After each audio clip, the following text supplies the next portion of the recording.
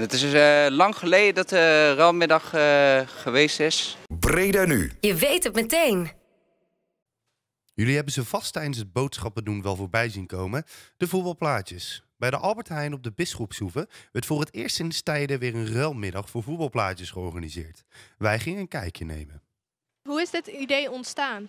Hoe dit idee ontstaan is. Uh, nationaal wordt in uh, elke Albert Heijn een ruilmiddag georganiseerd. Wij wouden het eigenlijk eerst niet houden.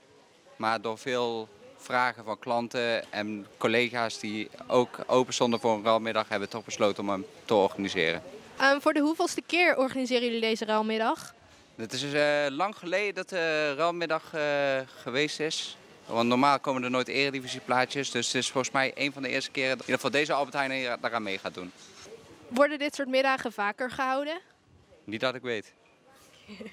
um, komen er nou veel kinderen op af op dit soort middagen? Nou, het is pas uh, net iets voor half drie. Dus ik verwacht, uh, we hebben het zo goed gepromoot in de winkel, op Facebook, overal en nergens. Dus ik hoop dat het toch wel, ondanks het mooie weer, uh, dat er veel mensen op af gaan komen. Hoi, wie ben jij? Ik ben Tess. En wat doe je hier? Ik ben hier voor de ruilmiddag. heb je nou veel plaatjes die je wil ruilen? Ja, heel veel. Um, heb je een voorbeeld?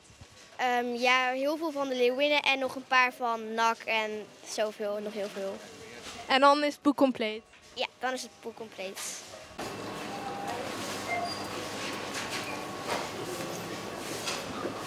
Breda nu. Je weet het meteen.